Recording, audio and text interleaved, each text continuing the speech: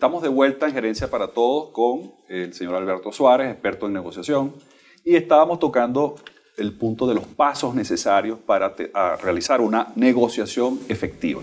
Habíamos tocado el primer punto, que era el relativo a conocer a la persona, a la contraparte con la que vamos a negociar. Continuemos. ¿Qué otro punto es importante?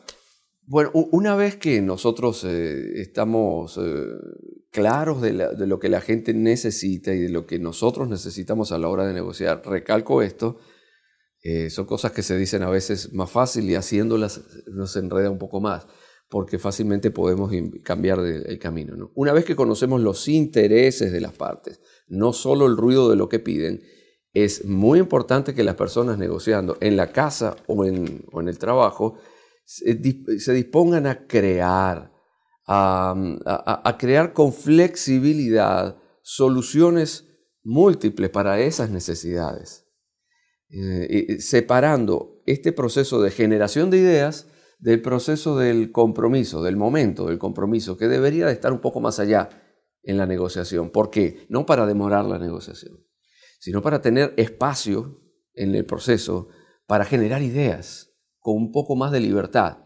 sin llegar tan rápido al compromiso. Cuando estamos eh, eh, un poco más lejos del compromiso, las partes tienden a sentirse más libres para... Y puedes tener más información también, te permite Por más, información de esa contraparte y qué quiere efectivamente. De lo que quiere ver, porque tal vez la contraparte no sea tan clara con lo que realmente necesita.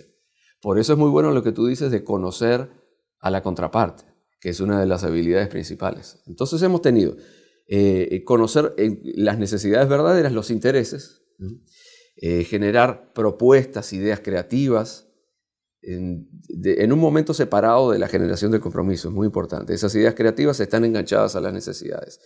Y yo agregaría una, un par de cosas más, que, que es lo que tiene que ver con, con la siguiente pregunta, o la respuesta a la siguiente pregunta. ¿Por qué la contraparte debería eh, eh, pensar como yo creo que son las cosas. ¿Por qué razón? ¿Por qué la contraparte debería comprarme esta idea que le estoy planteando? Si yo me pongo en los zapatos del otro.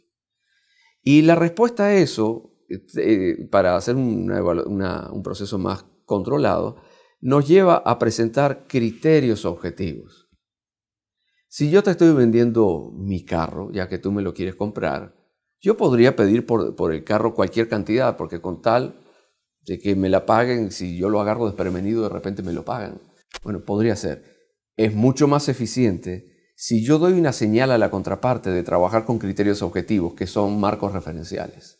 Claro, pero si ya yo tengo la información de, la persona, sé cuáles son los intereses, le planteo varias soluciones, sí, ¿correcto? Que, idealmente. Que, él pueda elegir eh, alguna de esas. Y la persona manifiesta acuerdo en cuanto a alguna de esas soluciones. Y finalmente se llega a un acuerdo. ¿Sería ese más o menos el esquema? ¿O me brinqué algún paso? Bueno, eh, hay otras cosas por el camino que sería muy importante tomar en cuenta. Hay una, ya que me, que me está combinando, ahora me hace pensar en otra cosa interesante. Los, los buenos negociadores no van a negociar hasta que tengan un buen plan B elaborado. Es un punto interesante requiere un poco más de preparación tal vez.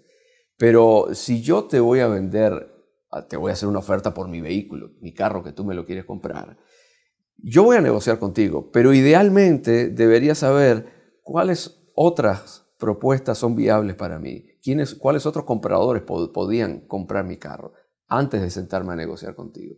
Esos son los mejores, porque cuando yo voy a negociar contigo teniendo un buen plan B, estoy mucho más tranquilo.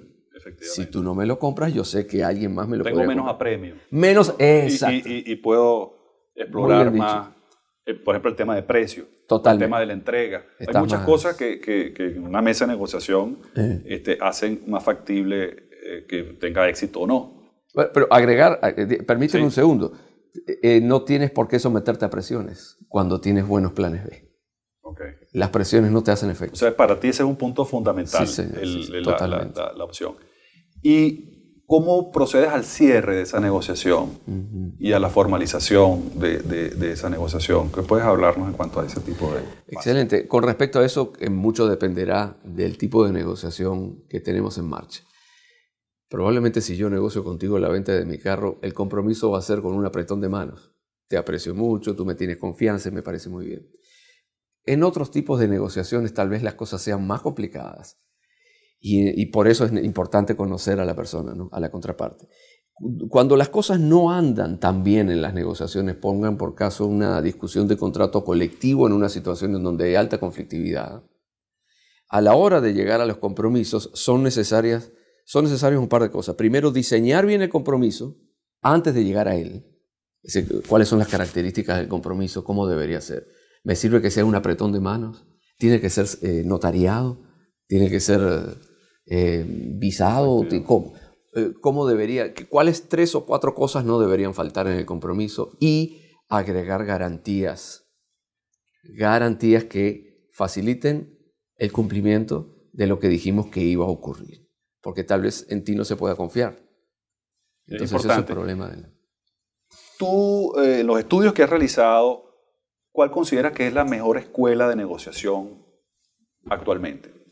Entiendo que hay muchas, muchas ramas o estilos de negociación. Mm. En particular, ¿cuáles puedes destacar? Definitivamente, eh, eh, a la luz de los años de experiencia que tiene la universidad, algunas instituciones de la Universidad de Harvard, en donde se ha desarrollado mucha investigación, como el Program of Negotiation, ellos han puesto eh, a, la luz pública resultados de investigaciones muy profundas a lo largo de todo el mundo, ¿no? en negociaciones muy distintas, que hablan de este modelo de ganar-ganar, basado en intereses. Y, eh, que, es parecido a lo que tú estás mencionando ahorita, que eh, eh, eso, esos pasos. En particular, en la empresa Cambridge International Consulting, ¿cómo aplica la negociación? ¿Cómo se pueden tomar estos cursos? Háblanos un poco de eso, o sea, las actividades de, Cambridge International Consulting. Precisamente en Cambridge International Consulting nosotros estamos desarrollando herramientas de negociación eficientes y prácticas y aplicables bajo el modelo de ganar-ganar. Y nosotros lo hacemos a través de un par de caminos, que es la capacitación o la asesoría en tiempo real en procesos que están en marcha. Eh, la asesoría para las dos partes negociadoras o para una de las partes que negocian. Es consultoría o eh, formación, capacitación, en talleres cortos, talleres más largos. Algunos de estos talleres también eh, eh, reunimos gente y lo hacemos fuera del país con algunos profesores de la Universidad de Harvard que siguen investigando estos temas. Pero ese es el modelo de negociación basado en esta concepción más eh, del lado de la cooperación que de la competitividad. Y básicamente son dos formas de negociar. Está muy bien. Yo podría redondear entonces que para negociar más efectivamente necesitamos conocer la contraparte, generar alternativas y formalizar los acuerdos. En este caso, en, particular, con Cambridge International Consulting vamos a tener, continuar conversaciones específicas sobre este tema y en principio los invitamos nuevamente a, a sintonizar Gerencia para Todos para ampliar el tema de la negociación.